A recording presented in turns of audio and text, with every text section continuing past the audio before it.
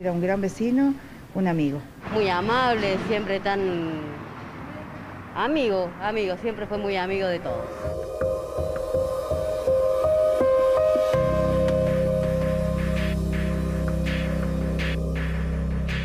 La vida de José transcurrió en esta parrilla. Estamos aquí en el centro viejo de Villa Carlos Paz. A los ocho ya era empleado. Con el tiempo se convirtió en el dueño de la parrilla. José era tan solidario que ayer cuando le pidieron su camioneta para llevar agua a una zona donde el fuego arreciaba, no lo dudó.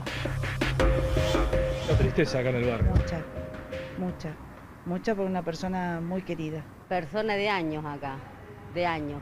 Muy buena gente, muy buen vecino, muy conocida, muy sana.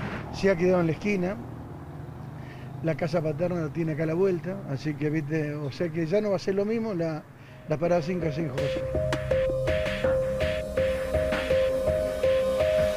Este jueves por la tarde, José vino a ayudar a sus vecinos de Las Carillas. Es esta pequeña localidad a 15 kilómetros de Villa Carlos Paz. Acá José tiene una casa de fin de semana. Tal vez por el peligro, por el nerviosismo que significaba ver cómo avanzaba el fuego, José se descompensó y se desmayó acá.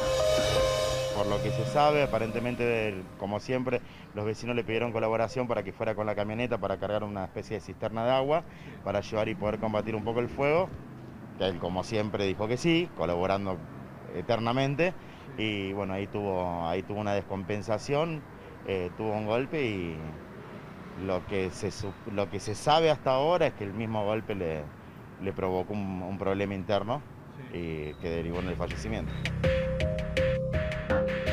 Yo tengo la peluquería que hace 33 años que voy a cumplir en octubre.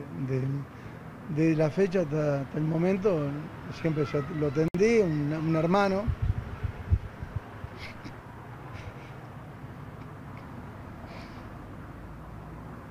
Qué manera, ¿no? Qué manera.